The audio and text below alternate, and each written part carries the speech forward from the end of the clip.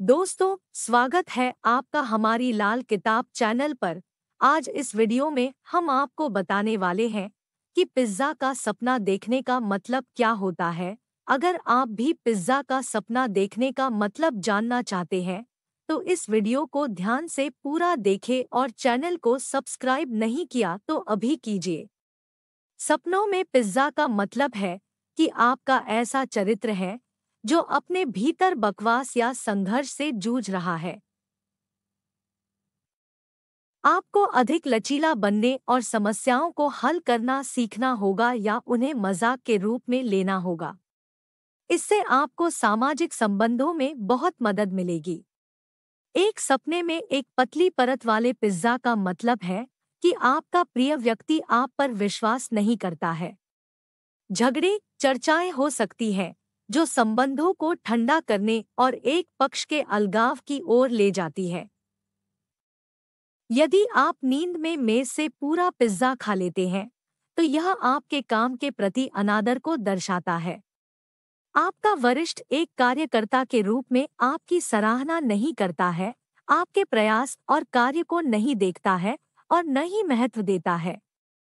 एक पिज्जा जो अलग तरह से भरा हुआ है, यह धन का प्रतीक है। आपके पास जीवन से एक प्रस्ताव प्राप्त करने का अवसर होगा जहाँ सब कुछ थाली में है, पिज्जा पर थोड़ा एडन बड़े वित्तीय नुकसान का संकेत देता है।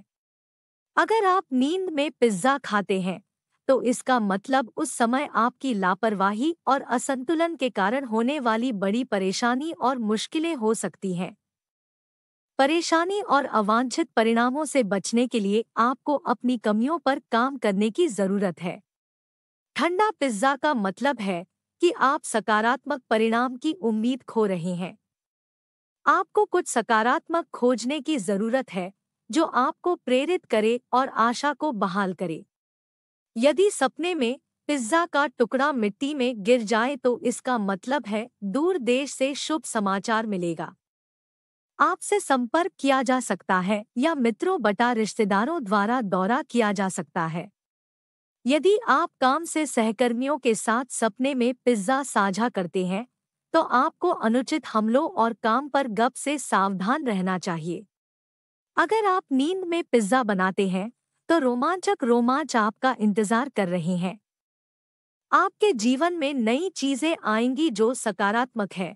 उदाहरण के लिए संभावित रोज़गार। यह बहुत छोटे नुकसान के साथ बड़ी समस्याओं को हल करने का प्रतीक भी हो सकता है।